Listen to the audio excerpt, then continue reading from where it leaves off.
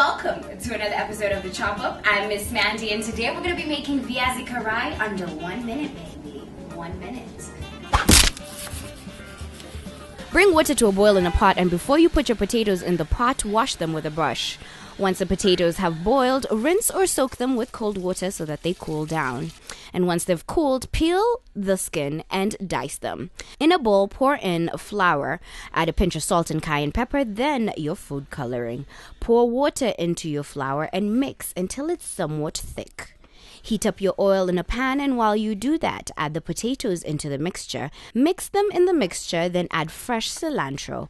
After all that, fry them until they are crispy. Let them cool for a bit and serve.